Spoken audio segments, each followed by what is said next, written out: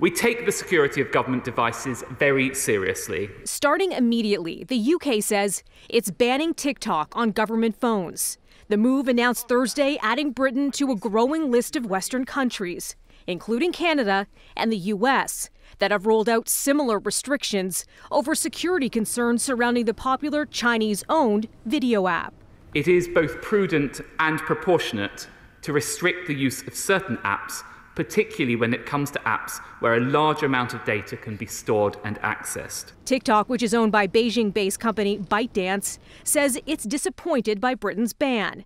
And now an even bigger block could be in the works. The Wall Street Journal, citing unnamed sources, was the first to report the Biden administration is demanding that TikTok's Chinese owners sell their stakes or face a possible U.S. ban of the app. That would be a huge escalation.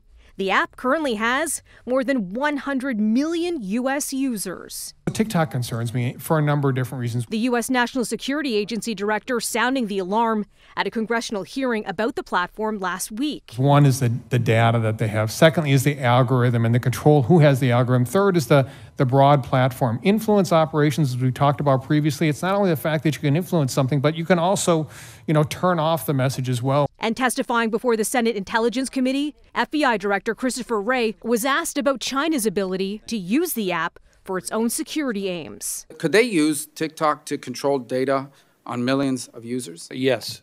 Could they use it to control the software on millions of devices given the opportunity to do so? Yes. Could they use it to drive narratives, like to divide Americans against each other? For example, let's say China wants to invade Taiwan to make sure that Americans are seeing videos arguing why Taiwan belongs to China and why the U.S. should not intervene?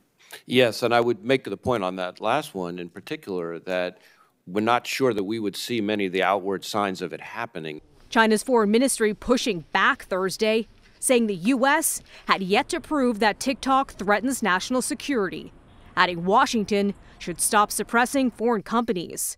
Three years ago, the Trump administration also threatened to ban. A spokesperson for the app says if protecting national security is the objective, Divestment does not solve the problem because it wouldn't change data flows or access. Closer to home, could a wider restriction come to Canada?